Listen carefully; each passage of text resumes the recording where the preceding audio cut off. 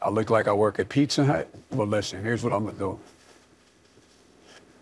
Is I look like I work at Pizza Hut. I'm gonna go ahead, grab one of the empty boxes that are in my motherfucking stove. Cause I always keep an empty, you know, empty pizza box just for the fuck of it until I feel like I'm throwing it away.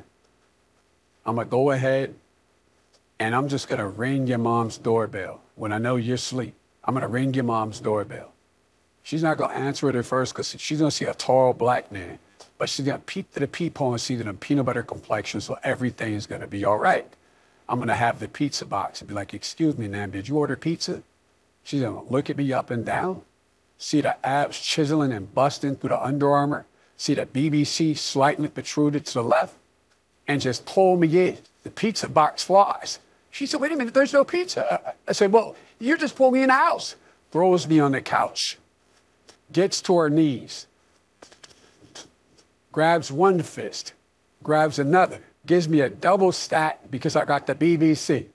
Starts sucking, twerking, twisting. I'm like, ooh, ooh, uh, ah, ah, ah, ah. That's all I can really do. And I submit and I just bust infinite hot loads of matrix juice right down her motherfucking throat. And so she gulps and gargles and asks for more. Get that ass banned, bitch ass nigga. Get the fuck up out of here. Somebody ban this nigga. I'm gonna deliver pizza to your fucking mom in your sleep, bitch.